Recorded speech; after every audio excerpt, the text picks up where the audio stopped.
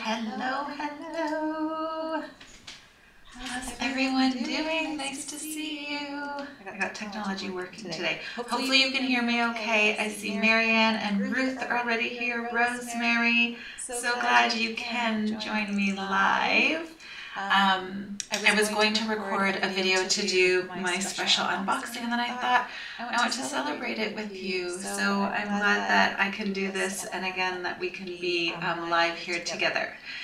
Thank you, Barbara. Welcome, Audrey. Um, if you can hear me okay, give me the thumbs up in the chat or let me know in the chat.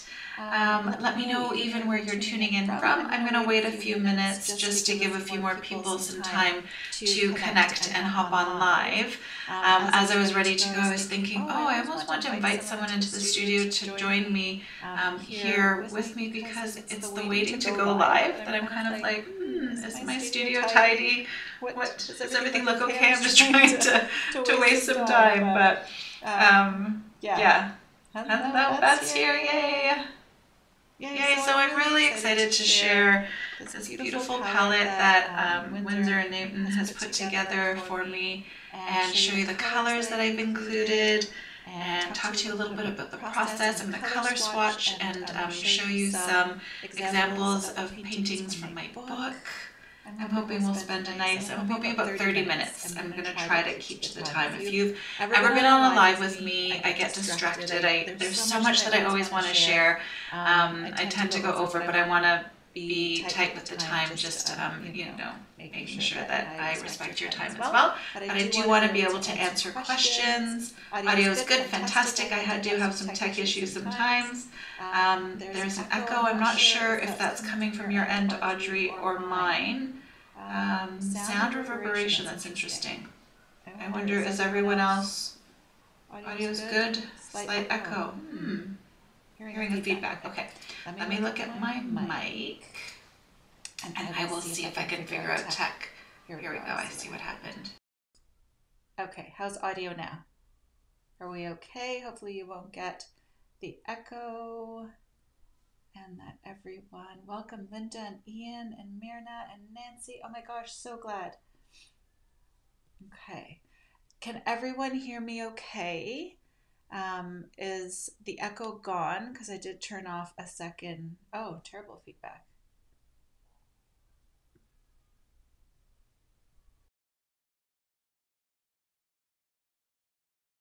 Okay. Now. Are we hearing okay? Any feedback? When I tested this morning, it was perfect and then something happened. I shut my computer down to restart it because that's always a good thing. Perfect, perfect audio. Yay! Yay, I figured it out. the many talents of a modern artist.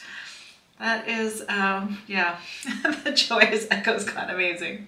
Yay, so good. Okay, looks like we've got a nice group here. Um, feel free to connect in the chat. I'm going to look to the chat for questions as I go. Um, I'm really excited if you're just joining um, to be able to share this experience with you live.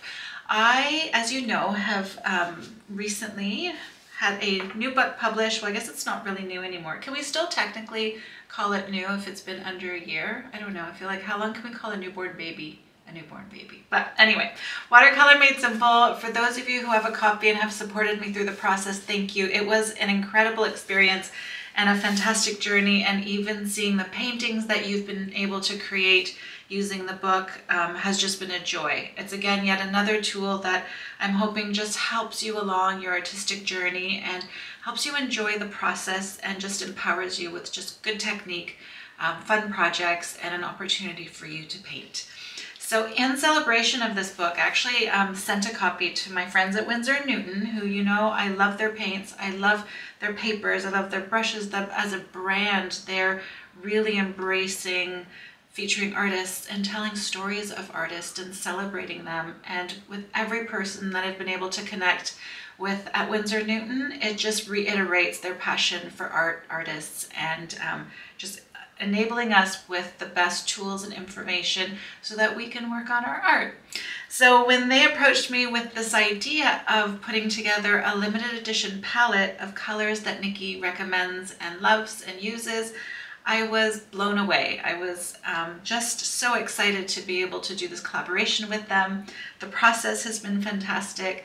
Um, and I'm excited to share it with you here. I did get a sneak peek of the palette a few weeks ago when I was in um, New Orleans with, New with Winsor Newton doing some painting projects and talking about their products. I'm a part of their education program now, which is really great. So I'm getting to learn just the, the history of color and pigment and what it takes to really create this beautiful paint. So it's been a real joy. So here is the set. This is what you will get um, if you decide to go ahead and get your set, your limited edition set. So it's only available North America right now. You can get it um, at a few retailers in Canada and the US um, and also on Winsor Newton's website. And I'll link to their website in the description. It should be there, but um, I'll just make sure that the, the link is there. And they even have a feature, an artist feature that talks a little bit about my process, my story, um, which I thought was really fun to celebrate the palette as well.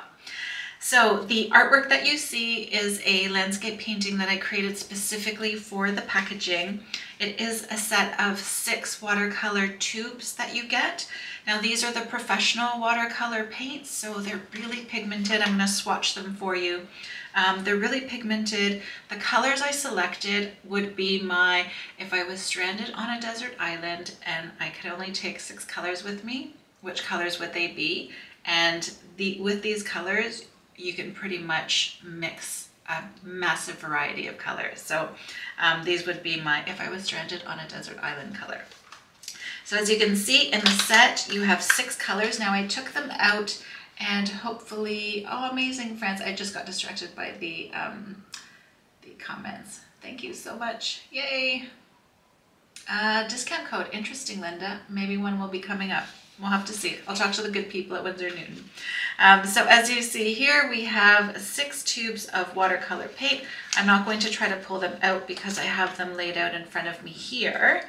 And the other really sweet thing that they did was they included a sticker. So you get a sticker of my original painting um, that went with the packaging of the box. So I thought that was really special.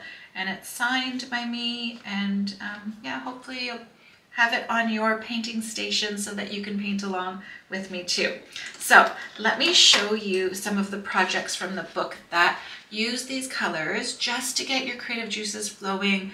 If you, again, have the book, maybe you haven't painted these ones yet, but again, Remember, what I'm showing you is always guidelines. So even my step-by-step -step process, I want to empower you with how I would do something or how I would um, have you approach it for the first time. But really, my hope is that you paint these over and over, and with each time you paint them, you start to explore your own artistic expression of them and just really lean into playing and having fun. So here is one of my favorites, the apple. And of course the lovely stones. I think the other one is upside down, so we're gonna do this. I really had fun with this one because it's a simple painting project, but it teaches you about value. It teaches you about how to put in shading and just creating some dimension in your painting, which I think is huge. And then of course our simple landscape. And we need wreaths, especially if you're doing greeting cards. Hopefully you were able to use this reference for some greeting cards. And it's funny, I'm turning around thinking about the different ways that it could sit and I'm thinking about even having it in a frame. But I've painted this wreath a few times and I've changed the color based on the season. So again, I hope that you're inspired to do the same as well. Now this one has a little bit of that permanent rose, but I want to show you the florals because I've been playing around with using different colors in my floral artwork. Um, and I want you again to use this one and I feel like you can change the expression of it just by changing up the color. So that's another one. And of course, mushrooms. We can't, we can't not include mushrooms. I still feel like mushrooms are really fun to paint um, even now as we're exploring color and even with the season. I don't know, we've had a lot of rain. If you have sunshine where you are, please send me some. We've had a lot of rain recently, so sunshine would be great. So what I'm going to do, uh, Payne's Gray just saw best comment. would not be Nicki without Payne's Gray. And I'm going to show you how to use Payne's Gray and again, the colors that I've included in this palette to really create those moody colors that you know I love so much. Question, I plan on getting watercolor made simple book, but why are the colors different from the ones recommended for the course? So the, that's a really good question actually. So Watercolor Made Simple, my course, I created that three years ago now, four years ago now, I wanna say.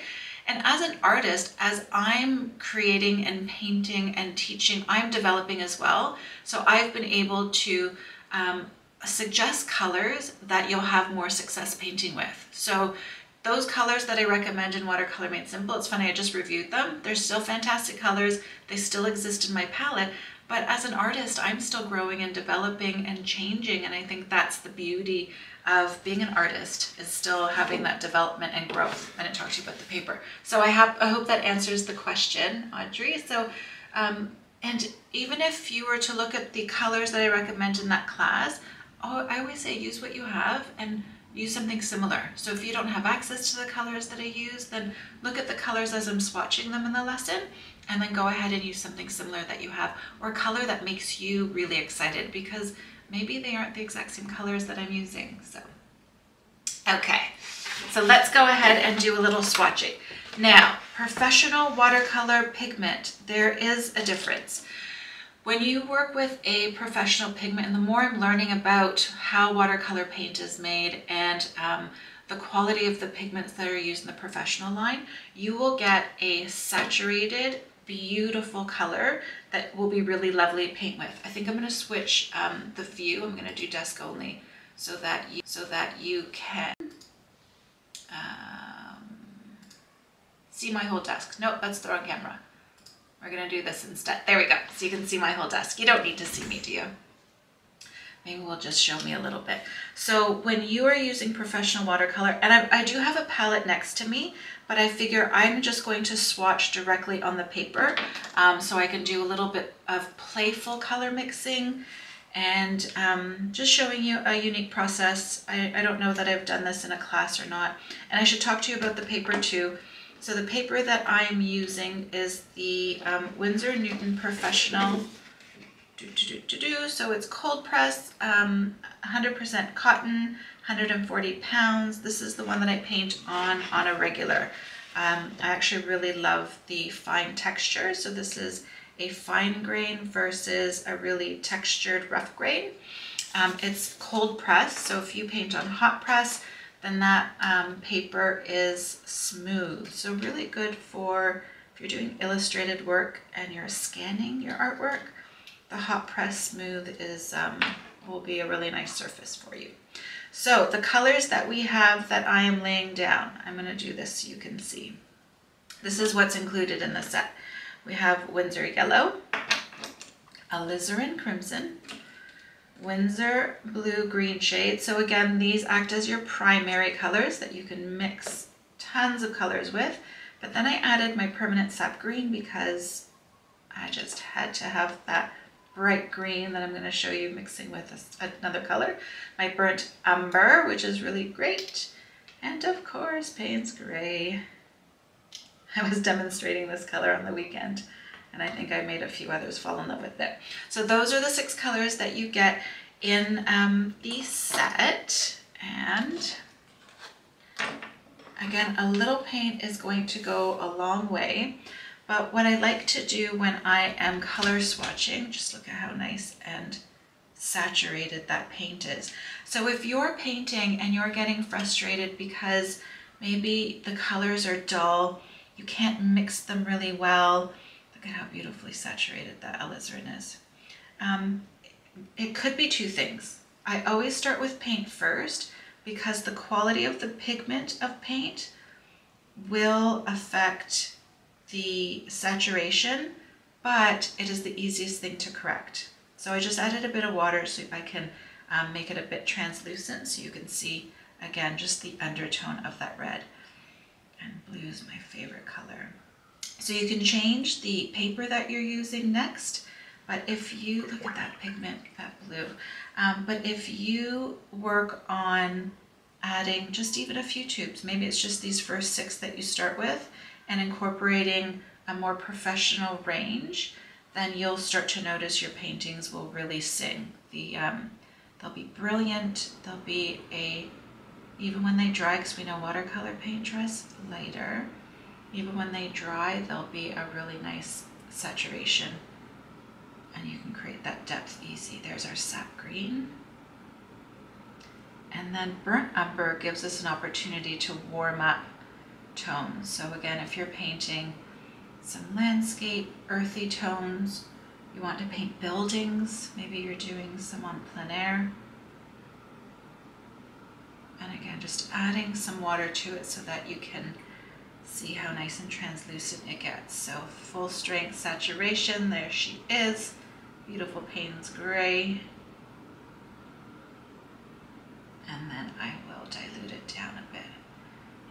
So again, you can see how saturated it is. I need to actually pull up and add a bit more water so you can see the undertone. And I really like Winsor Newton's Payne's Gray. I've used others in the past, but theirs um, is a little bit more like an indigo versus a violety undertone, which I'm not a huge fan of. Violet doesn't show up often in my paintings, but there are the six colors. So how about we do a little um, color swatching? Let's see if there's any questions. Could you order in England? I hope so, Ian. I I know right now they're only available in North America. Will they ship to England? I'm not sure. I can ask and maybe post something in our um, group, Watercolor Made Simple group if you're a student of mine, and I can even post in the comments here on YouTube. Okay, so there are the primary colors. So let's say we were paint, painting something um, where we require a little bit of a yellow ochre and you have these six colors to work from. I would grab some of this lemon yellow and I might switch to the palette in a second. I may not. I just, like I said, want to play and have fun. I'm going to use some of that lemon yellow or that Winsor yellow and then add a bit of that burnt umber. And because I'm mixing on, let me get it nice and close. Because I'm mixing on the paper, you can see that yellow coming through. It creates almost like a gold glow. So again, if you're looking for something that has a little bit of a gold undertone. I'm just gonna pull away so you can see that yellow through. Then you can create a really beautiful warm yellow using that burnt umber. I'm even gonna grab a little bit more of this yellow. And again, color mixing directly on your paper um, can be really fun because you can, again, observe how the colors either fight one another or how they blend in together, which is kind of cool. So again, depending on how much yellow you're including in your mix versus the burnt umber, let me move that over so you can see, we can get everything in camera there.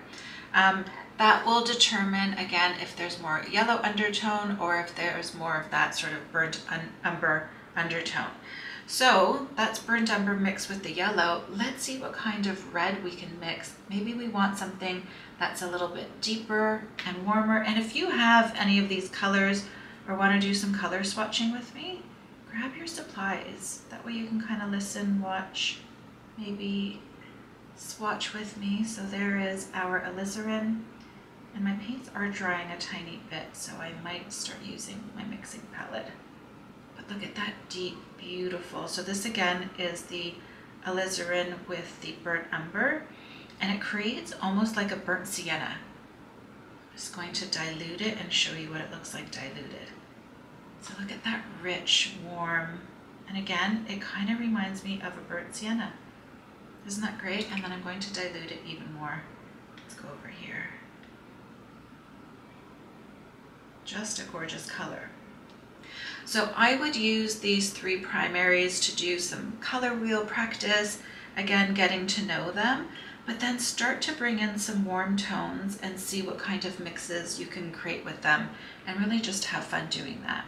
So I'm going to grab this beautiful Winsor blue and it is really saturated. So this is more of a staining color. So if you're trying to lift it off the page, um, it will create a stain on your paper. So again, if you're creating highlights and want to avoid, um, you know, not being able to lift, then you might want to bring in your masking fluid so that you can preserve that paper.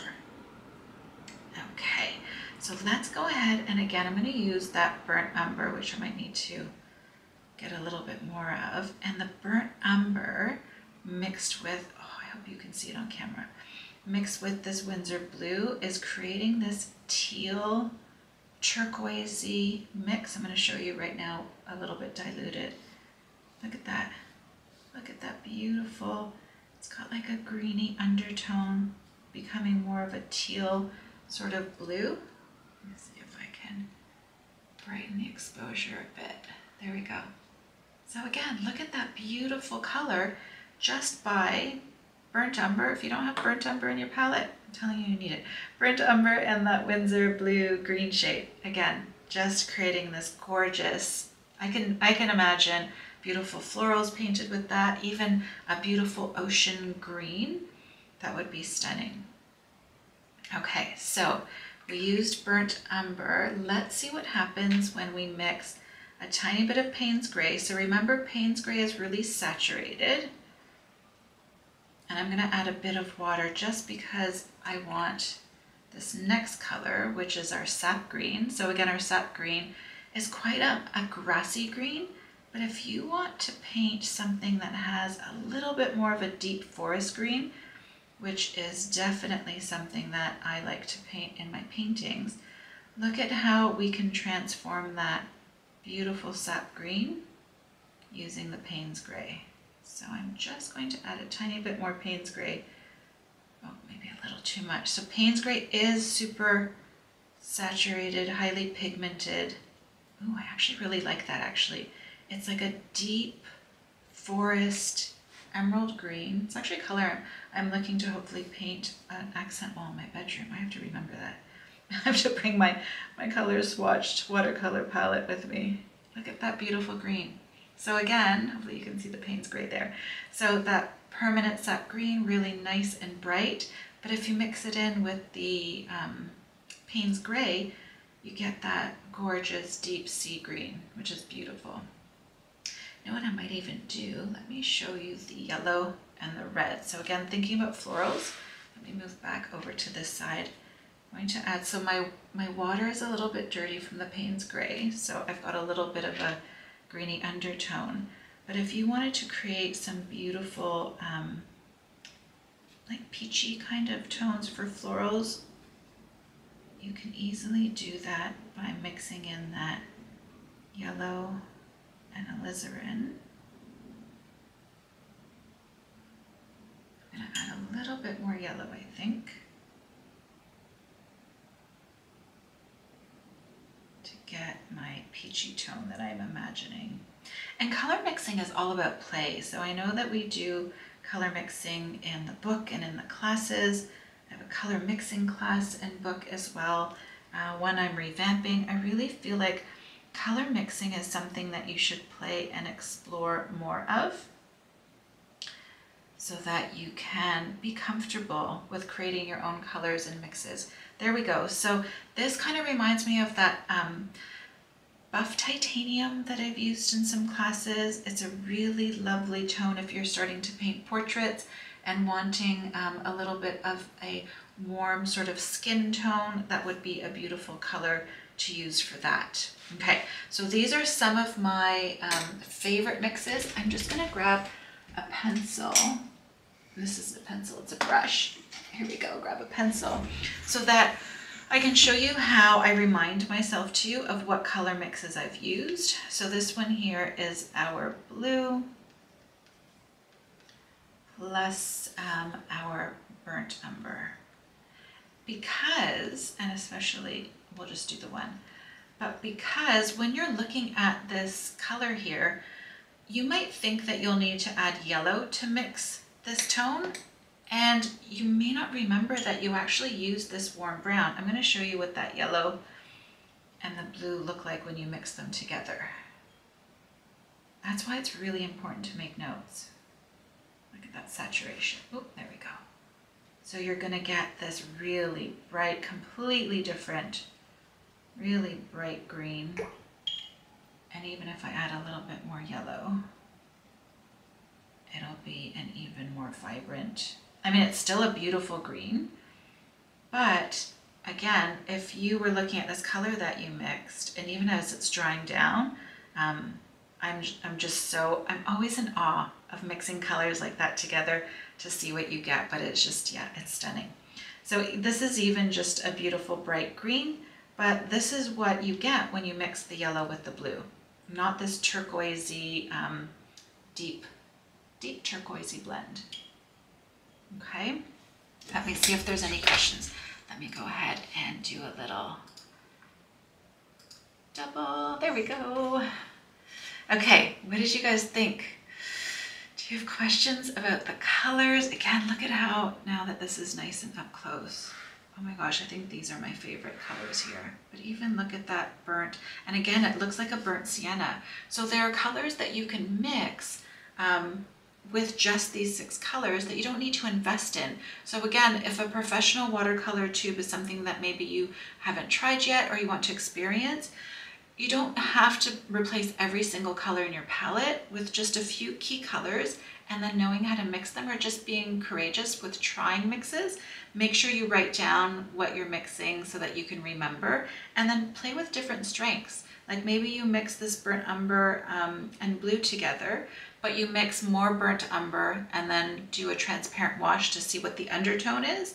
And then the next time you add more of the blue, Make sure again you do a nice wash of it too to see what the undertone is and then make note of that. So then when you sit down to paint a composition, so maybe you're, you know, thinking about painting this floral piece, I suddenly have colors now that I've mixed, these tertiary colors and beyond, that I can paint a version of this, but do maybe more of a fall scene um, and have something that has a lot of warmth in it I probably should have grabbed my other wreath because I've painted this a few times, but I have one that's very cool. And this, because I've used that alizarin and some of the burnt umber, it's created that warm tone that kind of changes it, makes it feel a little bit more um, like summer, or not summer, like fall, which is my favorite season. I'm gonna put the little palette here because I think it's so sweet with our little sticker. I love that so much. Okay, so let's see if there are any questions. I'm gonna take some water just because I've been chatting. Okay, does the book align with the online course in terms of chapters, sections, asking in case I use them hand in hand? So I would recommend that they do work together hand in hand, and I'm going to tell you why. The book, and it was interesting as I was working on the book because I'm used to that visual video component. Um, so we've added QR codes that take you to a video component. I don't know if you've noticed them, and even there's a QR code in the back of the book so that you can download larger, because some people didn't see this. I'm going to show it to you. So you can download larger um, drawings. So it's this code right here um, so that you can download lar larger versions of these line drawings. So the information in the course and the information in the book are similar. The way I describe them is different. The exercises may have a little bit more of a twist to them in the book. Again, the book is newer than the course, so I've even updated how I teach things and my personal techniques, but I feel like they're complementary. Whenever you can review information multiple times, sometimes there's information that will just click. Maybe you need to hear it, needed to hear it a few times, or you needed to actually sit and practice and then hear the information again so that it um, you absorb it differently. I feel like that happens to me. I am working on, I should probably tell you, I am, I've been working on my portrait um, skill and my approach to how I do portrait. I've taken multiple courses, online, in person, read books, and it always starts the same. Like you're always getting the same information, but it's just the delivery of the information and you're at a different point in your experience level when you're getting information. Sometimes some things suddenly click and in that moment, your process becomes easier and then your muscle memory kicks in. You start to develop the, your own way of doing things. So I say they go hand in hand. That might have been a long-winded answer, but I hope that answered it. Oh, I'm so glad, Diane, because again, trying to just pick six, I was like, oh, oh no, which one is like just add, adding a few of your children and leaving a few children out? I know that's really extreme, but it kind of like was a bit of a process for me to really think about if you only had six, what could you do with those six? And I really feel like these six are exciting colors um, that you can have a lot of fun with and do a variety of paintings. So whether it's florals, landscapes, um, urban studies, portraits, you can mix a lot of colors with these um, six, which is good. Oh, amazing, Mirna. Mirna's painted every um, project in the book, which is amazing. And I think going back to painting a second time is also something that I do often myself. Um, when you repeat that process, again, that's really when you start to develop your skills and confidence. And sometimes we have really high expectations of ourselves when we sit down and we just paint something. So whether um, I don't have the sheep in front of me, but maybe it's, you know, this apple. So we sit down, we think, I'm going to paint this apple, and the first time I paint it, I'm going to be successful. And when you're not successful, you start to feel badly. Well, sometimes, I won't say that gen, but generally, as artists, we're really critical of ourselves and we compare and we want to be successful every time we sit down and paint. But the more you practice painting the same thing over and over again, that's where the success happens. So when you're looking at other artists and they're, you know, presenting you with their finished piece, that's often something that they've sketched, they've color swatched, they've practiced, and then they've painted a final version of. So I think that's really important. If you're able to paint the same thing over and over again, that process is key. It's key in any um, development and any developing of technique, whether it's, you know, painting or lettering or playing an instrument, it's that repetition that's really important. So Ruth's asking where you can buy it. So the set is available um, online, so winsornewton.com. And again, it should be in the description, but I'll link it in the comments. It is available if you're in Toronto. Um, Gwartzmans has them in stock, which is really exciting. In the US, I'd have to confirm on retailers, but they are currently um, rolling out into retailers in the US and Canada. I don't know if Winsor Newton Online, like .com, will ship to Europe overseas. Um, I'm going to ask and then I'll put it in the comments after we're finished our live session. Okay.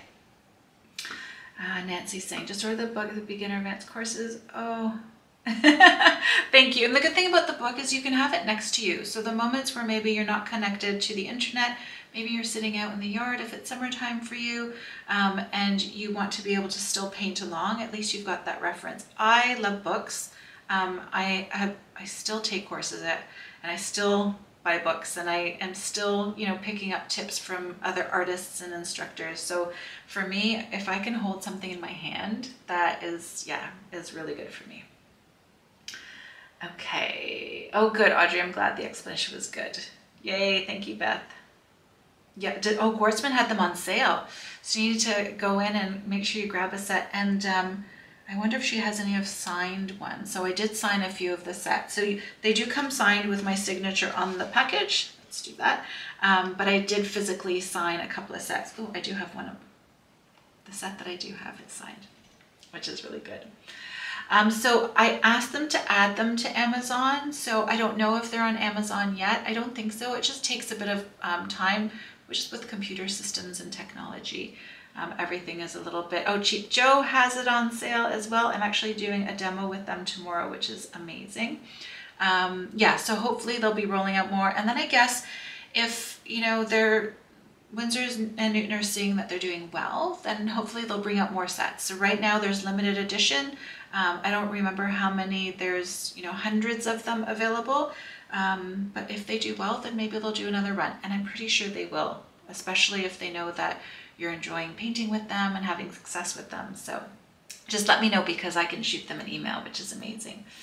Okay, so Beth is saying, this is exactly what I'm working on, the emotional and mental aspect of yeah, that's really tough of not being disappointed with the painting, but looking at it as one with a little more experience. So I'm working on something um, myself right now and I'm just looking at the time. So we're good. So I'm gonna chat with you a little bit more and maybe answer a few more questions. But I'm working on something right now and I'm including in my instruction, so it'll be an online class, um, to remove two words out of your vocabulary, good and bad.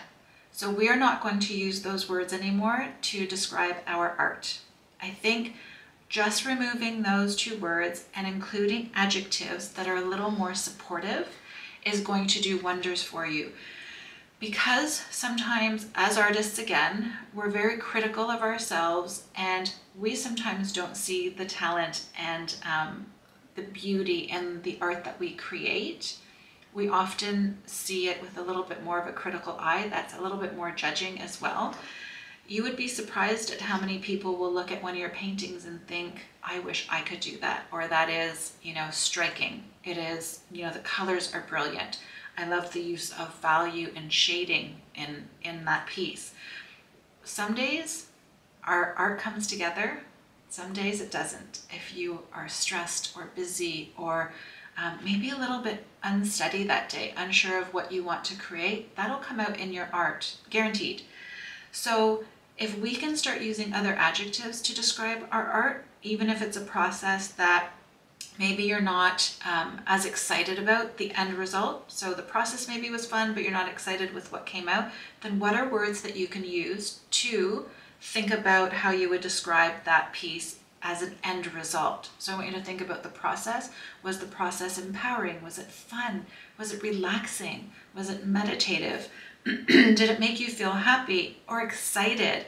And it's the tactile experience of putting paper to, or brush to paper. And you know, what was that connection like? And then look at your piece. And I want you to think about and I'll tell you a story, I'm sure I've shared this story too, but I want you to think about aspects of your piece. So I'm going to point out, you know, I really love the shadowing or the, the value and the shading that I used in the leaves. It reminds me of vintage illustrated art, which is something I really love. I love the vibrance of the red and how it contrasts with that highlight. So there's a really nice use of value scale there. And so start to talk about your art in that way so that you can remove those two words, good and bad, because they don't do anything for you. They just make us feel um, deflated or like we have to meet an expectation where that's not what making art and the finished product is all about. It really is the expression of what just came out. It's just, you know, that is what needed to come out that day. I had an artist teacher, an art teacher. I'm going to show you this one because there's something, there's actually a couple of things in this painting that I thought, oh, I want to do it over. I don't, you know, there are aspects of it that I know I can teach better or I can, you know, improve on. And instead of focusing on that, what I, I can do is look at aspects of it. I really love how there's a contrast in the blue of the water versus the blue in the sky.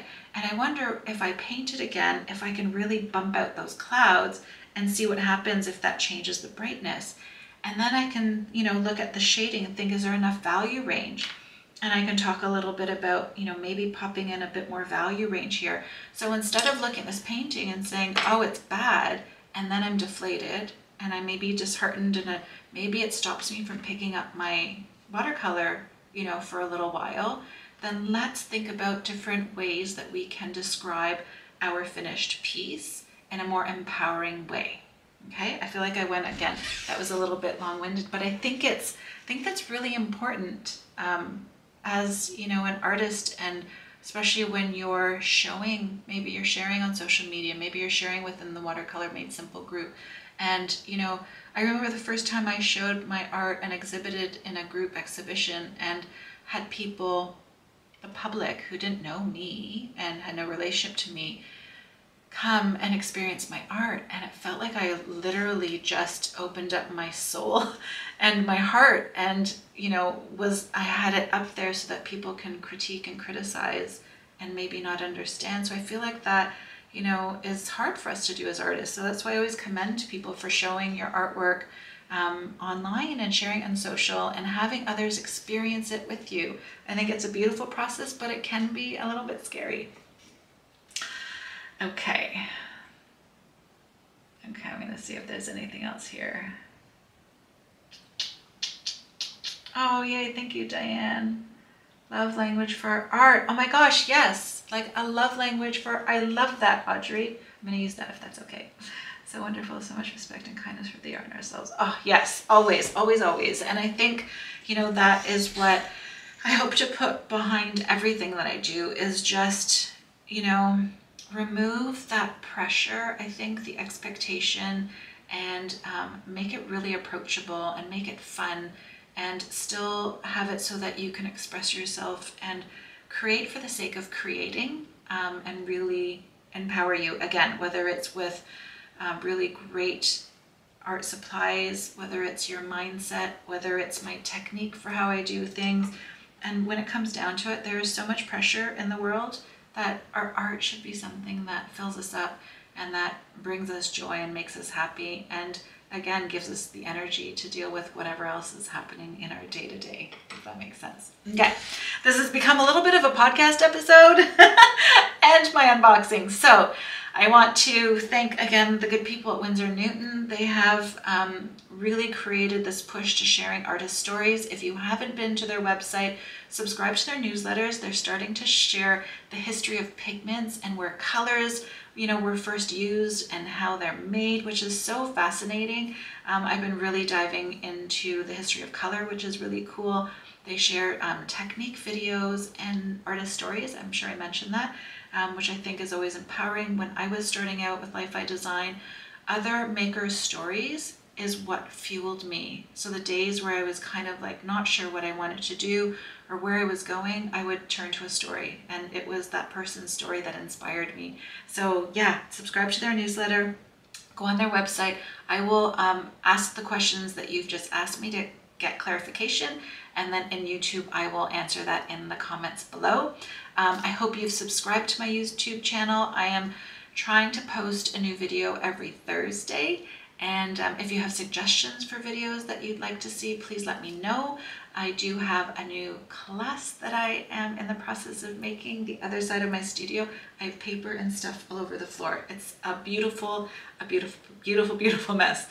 Um, I also have an interesting, um, really interesting announcement coming out about the book that I think a good part of the population is going to enjoy. So that's coming out soon.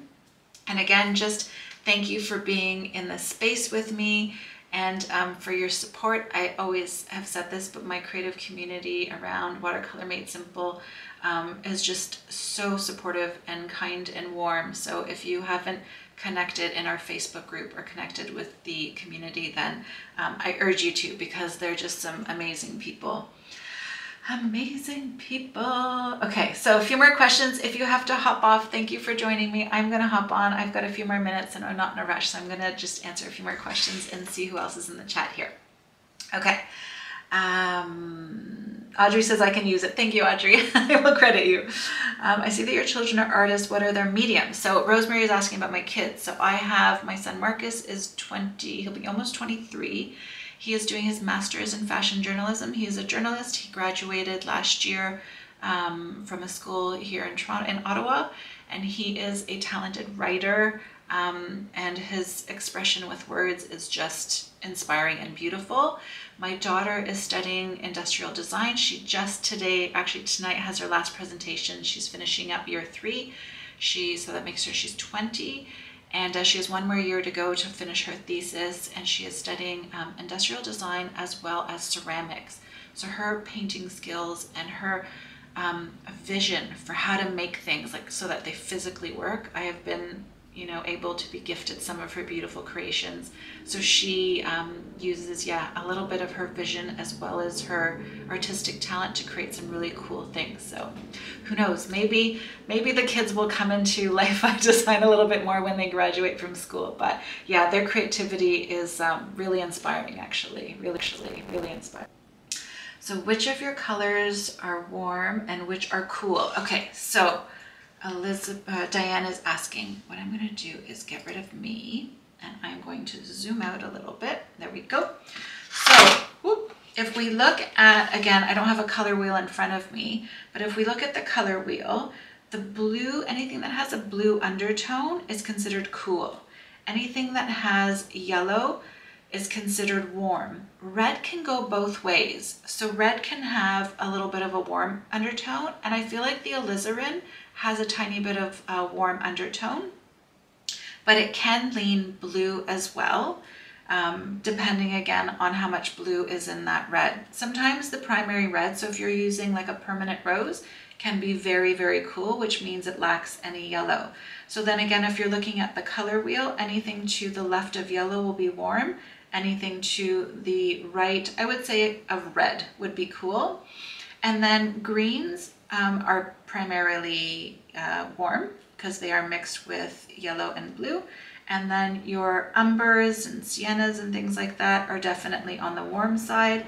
This Payne's Gray is definitely a cooler tone. Um, some Payne's Gray can le lean towards a little bit more of a violet purple, which makes them have red in the undertone, but I would still consider them to be a cool color. I'm gonna show you actually something that I do. So these are all my Winsor & Newton professional colors. You see I have a ton. I like to swatch them this way so I can compare them side by side with another color in that range. Maybe even take a screenshot of this. And again, this is recorded so you can go back to it.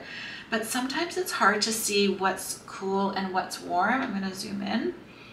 So here we go. So Winsor Red Deep is a cooler red than the Cadmium Red Deep that has a lot of more of like an orangey undertone to it. The quinacridone magenta is more violet, so it's leaning towards the blue. And the permanent rose, still a cool red, but not as cool as the quinacridone magenta. Okay, so when you can swatch colors like this and, you know, grab all of your blues and put all of your blues side by side, line them up, and then start swatching and labeling them, you'll be able to see what has, you know, a more cool, so that vibranty French ultramarine, next to a, you know, Winsor blue that has a little bit of a green undertone. So that's my Winsor blue green. Okay, so that's a really great practice to be able to swatch um, and make sure that you understand which colors in your palette are warm and which are cool, okay? Because there is a range. I hope that was helpful. I like art class every day. I always feel joyful in taking your courses. Oh, I'm so glad, Nancy. Thank you. That means a lot. I put a lot um, of heart and soul into those. So, and I often, when I'm doing something, I'm like, how would I teach this? How can I make this easy? How can I simplify this? Um, so I'm glad. Thank you so much. Yes. Okay. So sharing the link. So I'm pretty sure it's just uh, Winsor and Newton.com. Um, if you go onto our website, you know, I will put it in the description just to make sure, but it should be winsornewton.com.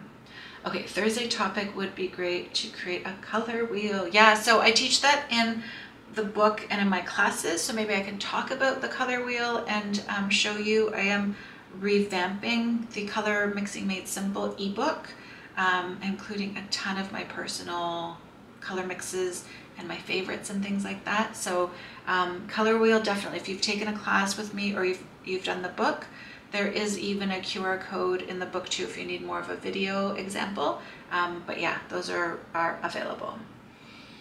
Okay, do, do, do, do, do. Perfect. Okay, so if that's it, thank you again for joining me. Thank you for enjoying this live and unboxing with me. And I hope you're inspired to play with some color mixing once you've um, been able to get your palette.